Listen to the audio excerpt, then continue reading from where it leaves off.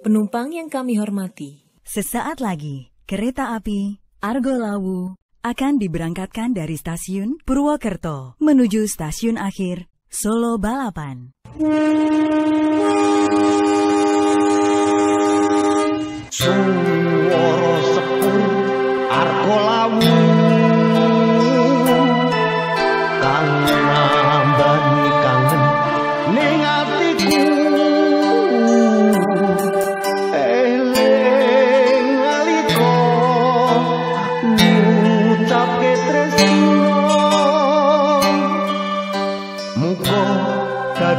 manggung selawase.